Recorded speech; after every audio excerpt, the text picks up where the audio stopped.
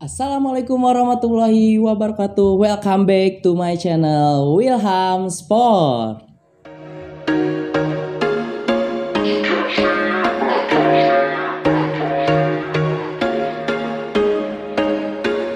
There was once a day that I would pray for you. I'd go and misbehave just so you'd notice too. Sneaking looks up and down from across the room.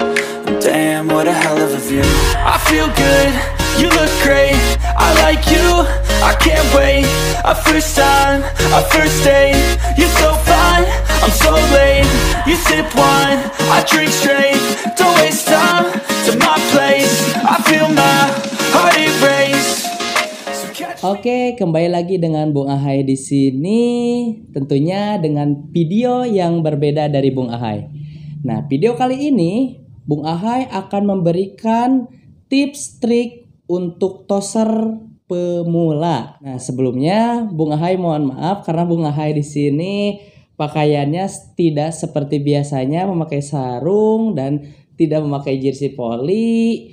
Jadi Bung Ahai ceritanya ini baru selesai Jumatan, alhamdulillah baru selesai Jumatan langsung bikin tutorial posisi setter pemula. Oke, sebelum lebih lanjut jangan lupa like, comment, and subscribe channelnya Wilham Sport biar channel ini makin berkembang.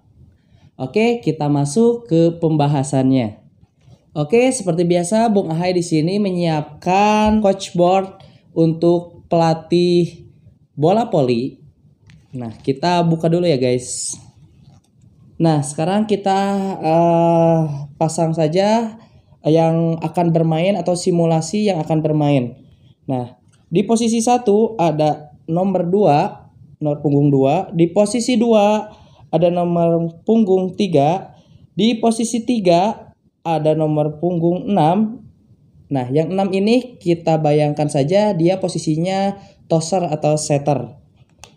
Posisi 3 diisi oleh setter. Posisi 4 diisi oleh nomor punggung 5. Posisi 5 diisi sama nomor punggung 1. Posisi 6 diisi oleh nomor punggung 4. Nah, ini susunan pemain misalkan dari tim A. Nah, nomor 2 ini posisi 1, nomor 3 posisi 2, nomor 6 posisi 3, nomor 5 posisi 4, nomor 1 posisi 5, nomor 4 posisi 6. Nah, ini simulasi tim A. Nah, di sini Bung Ahai juga punya bola. Nah, di sini ceritanya nomor 6 ini setter atau tosser ya. Nomor 6 ini ingat, tosser. Nah, pertandingan dimulai. Ingat ya, ini untuk tosser atau setter pemula. Jadi kita belajar cara rotasinya dulu. Nah, rotasinya tosser ini atau semua pemain berputar searah jarum jam. Misalkan dari sini ke posisi 6, posisi 6 ke posisi 5, jadi muter dari posisi 5 ke posisi 4, posisi 4 ke posisi 3, posisi 3 ke posisi 2, baru serpen. Biasanya seperti itu, ya. Nah, Bung Ahai gambarkan biar semuanya jelas. Jadi, seseorang yang mau serpen itu harus berputar searah jarum jam. Jadi muternya bukan ke arah kiri tapi ke arah jarum jam seperti ini ya. Ini ke sini, ke sini, ke atas, sini, ke sini. Ini biasanya langsung sub atau serpen. Nah. Sekali lagi ke sini muter, muter, muter, muter, muter, muter. Oke. Sekarang kita bahas posisi setter. Oke, ceritanya ceritanya ini tim A dan ini tim B. Tim B tidak ada pemainnya ya, guys. Ini hanya simulasi saja. Nah, ceritanya bola ada di anak-anak tim A. Ini posisi awalnya ya. Toser di tengah. Posisi awal Tim A serpen atau servis. Ambil bola servis, bola dilambungkan ke arah sini. Nah, yang ini yang udah servis masuk lagi ke sini, ternyata bolanya poin. Ya, masuk tidak out, masuk di pas garis. Itu poin 1-0 untuk tim A. Nah, apakah ini langsung muter atau berubah? Jelas tidak. Karena ini bola masih ada di tim A. Masih awal pertandingan. Yang tadinya 0-0 jadi 1-0. Tidak berubah dulu. Ya. Nah, yang kedua kita tulis saja tim A 1 0 1-0. Nah, yang kedua tim A servis tim A servis kemudian bolanya ternyata nyangkut. Di sini des. Bolanya nyangkut. Jadi otomatis poin untuk siapa? Untuk tim A atau tim B? Jelas untuk lawannya tim B karena bolanya tidak sampai ke area lawan. Jadi poin untuk tim B menjadi satu-satu. Ceritanya seperti itu ya. Satu-satu. Nah karena di sini gagal, gagal servis, bolanya otomatis diservis oleh lawan. Di sini ceritanya lawan servis kembali. Nah, servis kembali, des. Bolanya ternyata lawannya nyangkut juga ke net pada saat servis. Nah, siapakah yang akan servis atau serpen dari tim A? Apakah nomor dua lagi? Jelas tidak ya. Nah, ini ketika ini ternyata nyangkut, poin dulu ya. Poin dulu untuk tim A. Bolanya dari tim B nyangkut berarti 2 Duh maaf ya pakai tangan kiri. 2 1. 2 1. Nah, yang servis siapa? Yang servis yaitu nomor 3. Nah, kita apa bisa pindah rotasi pemain karena ini poin ya, poin kita rubah muter berarti yang nomor tiga ini. Nah nomor tiga servis yang toser ini yang pengumpan tadi pindah ke posisi dua. Yang ini pindah yang ini pindah ke depan. Nah ingat searah jarum jam. Toser atau pengumpan bola kedua ada di sini nomor 6 ya. Seperti itu. Kemudian bola diservis oleh nomor 3 DS bolanya ternyata nyangkut lagi di net guys.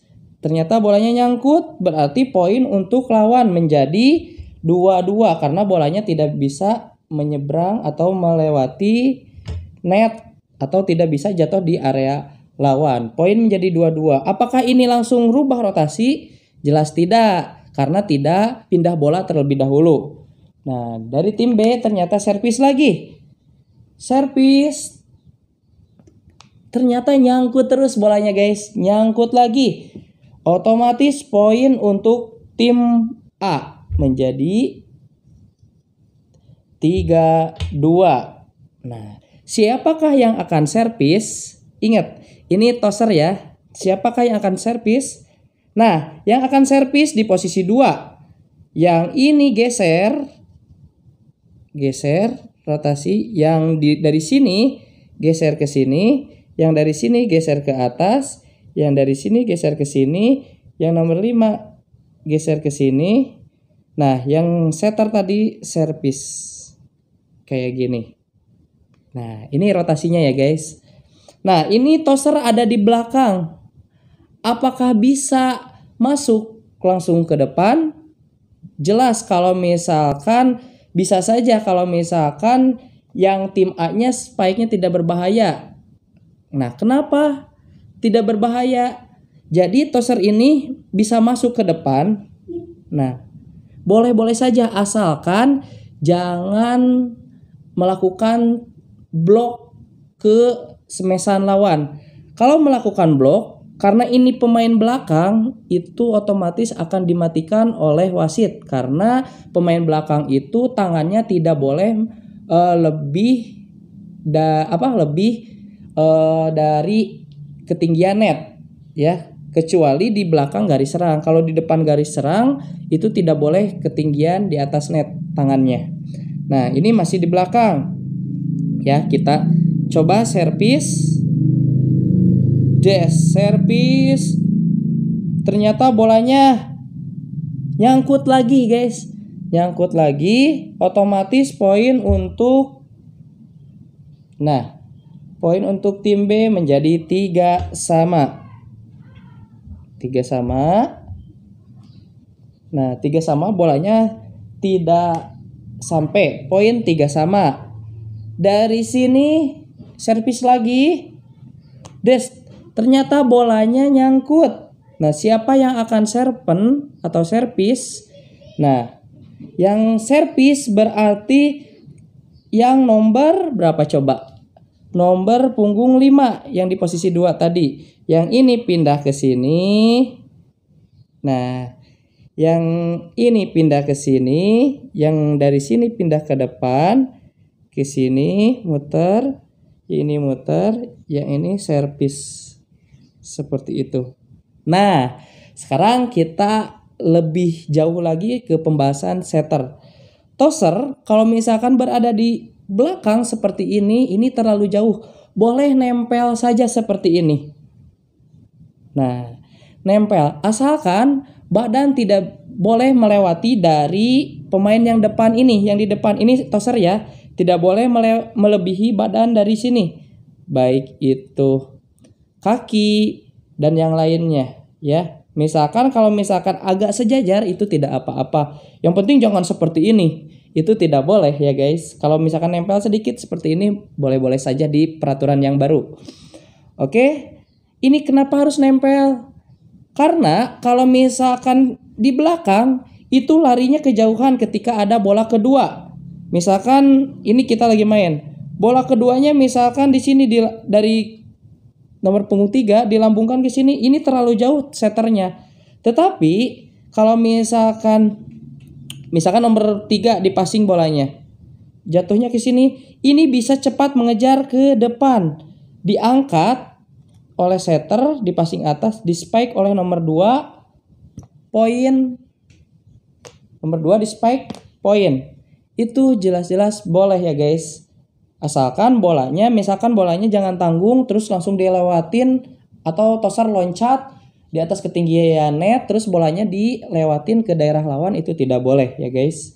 Nah, seperti itu. Jadi, untuk toser pemula daripada di belakang ini toser tempel saja pemain yang ada di depannya itu simpelnya ya guys ditempel saja seperti ini biar ketika ada bola lambung ke depan mengopernya tidak terlalu jauh itu yang pertama guys terus ternyata di sini udah serpen bola berjalan nah kita ulangi lagi nomor 5 ini serpen des ternyata pertandingan ulat bola ke sini lagi, ke sini lagi, ke sini lagi. Ternyata dari sini ke posisi cross, di spike ke posisi cross, toser karena tadi nempel, toser maju saja.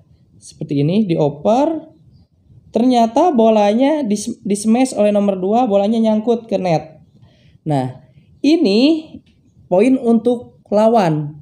Berarti Poin untuk lawan tim B berarti menjadi 4 karena bolanya nyangkut di smash tadi sama tim A. 4-3 ya seperti itu. Kemudian servis dari lawan yang tadinya toser kan udah di depan nih. Balik lagi ke belakang. Karena ini emang posisinya di belakang tadinya.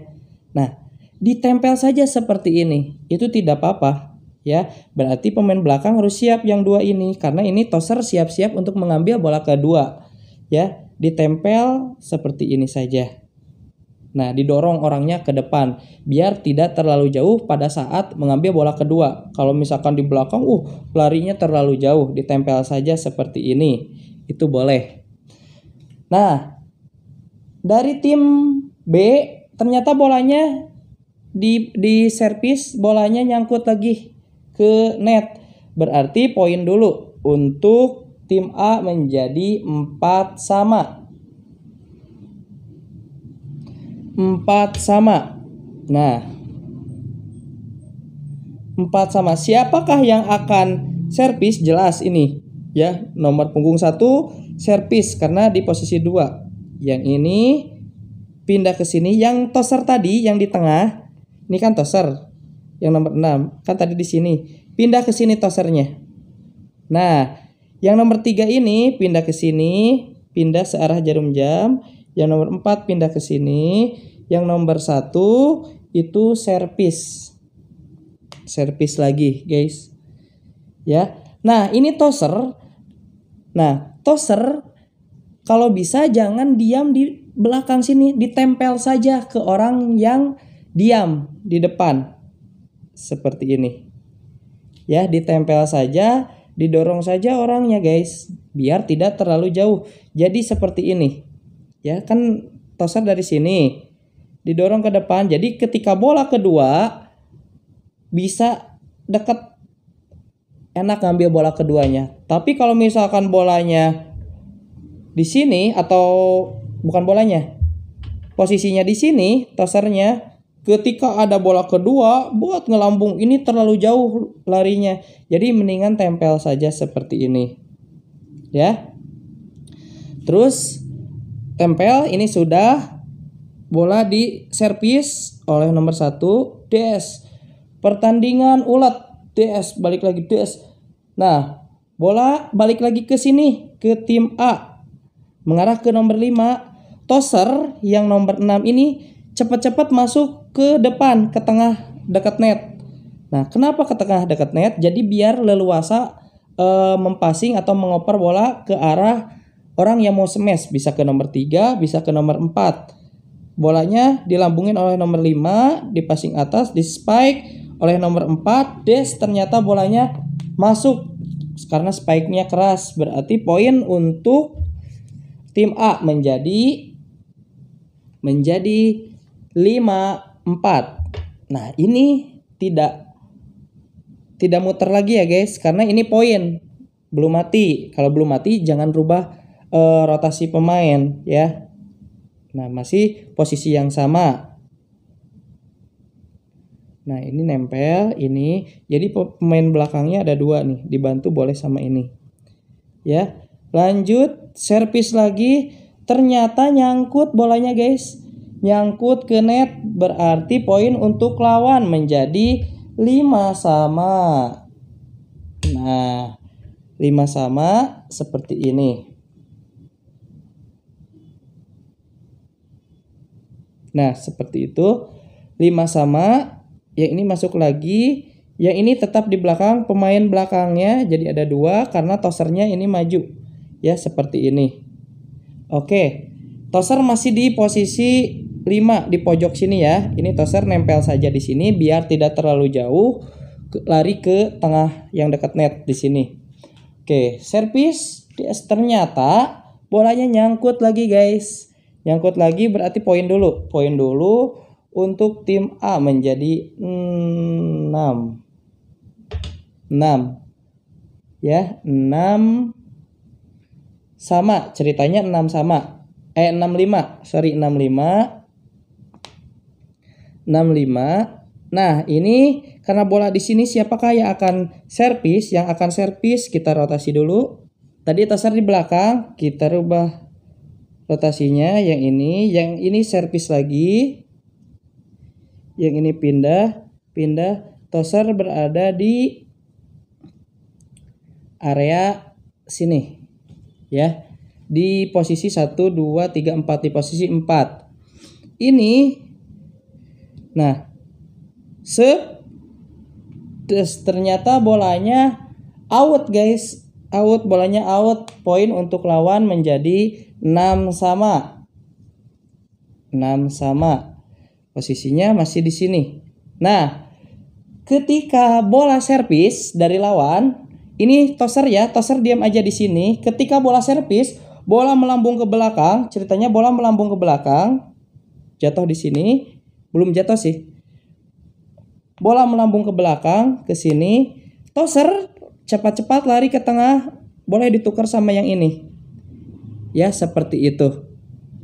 Atau, nah seperti ini. Lari toser, sini, dioper, di spike, poin. Nah, poin Nah, karena ini poin berarti 76. Ceritanya seperti itu ya. Kita fokus ke pemainnya ya, ke tim A, jangan fokus ke poinnya ya. 76. Ini bayangin saja poinnya ya. Jangan fokus ke poin, fokus saja ke posisi pemain.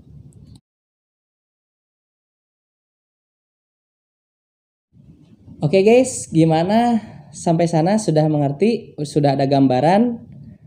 Nah, jadi biasanya kesalahan setter pemula itu biasanya misalkan nomor 6 tadi ya, setter di sini. Biasanya ketika pemain rotasi atau muter searah jarum jam, toser ini tidak tidak ikut muter, biasanya seperti ini. Ini muter, ini muter, muter, muter, muter, ini servis. Biasanya toser hanya diam saja di sini. Tidak gerak-gerak. Ya, hanya diam saja di sini tosernya itu jelas-jelas akan dimatikan oleh wasit. Jadi intinya, inti dari toser pemula ini harus ikut muter se rotasi searah jarum jam. Jadi jangan hanya diam di sini. Ini salah ya. Jadi harus muter ikut rotasi seperti itu. Kalau tidak ikut muter, ikut muter searah jarum jam itu pasti akan dimatikan oleh wasit satu sehingga mendapat kerugian bagi timnya karena itu bisa menghasilkan poin untuk lawan. Oke guys, gimana sudah ada gambaran? Nah, kalau misalkan masih belum mengerti, nanti tanyakan saja di chat kolom komentar, ditulis saja, diketik saja, tanyain ke Bung Ahai. Insya Allah kalau Bung Ahai bisa Bung Ahai akan jawab. Insya Allah sih e, kalau misalkan rotasi pemain atau rotasi toser, insya Allah Bung Ahai bisa. Insya Allah Bung Ahai juga akan jawab. Oke segitu saja video dari Bung Ahai. Buat teman-teman yang belum mengerti silahkan diketik saja di kolom komentar. Insya Allah Bung Ahai akan jawab. Mohon maaf bila ada kata-kata Bung Ahai yang salah karena Bung Ahai di sini hanya manusia biasa. Terima kasih. Wassalamualaikum warahmatullahi wabarakatuh. Salam olahraga.